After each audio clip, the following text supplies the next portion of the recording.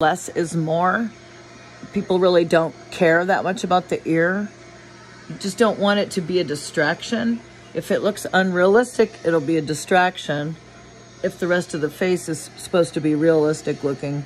Here I am gonna just darken this a little bit because sometimes what will cause something to look off is if it doesn't have the appropriate amount of darkness in the shadowing. So I darkened it there and now it maybe looks just a little bit better.